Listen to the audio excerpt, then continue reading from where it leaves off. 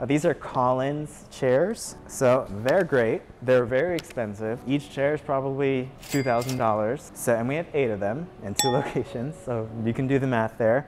But they're awesome. They're very wide, so for our larger guests, they, they fit in there very well. The leathers seems like very high end. Uh, this, this headrest comes out, which is nice. And we usually keep the headrest over here whenever it's not in use. And course it turns very easily and this chair can go up and down just like any other barber chair.